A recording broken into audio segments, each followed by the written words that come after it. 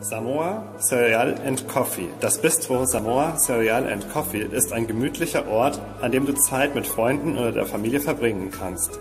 Die Menschen besuchen das Bistro normalerweise, um dort zu frühstücken oder einen Snack einzunehmen. Es stehen viele Typen von Müsli und Cornflakes mit Milch zur Verfügung.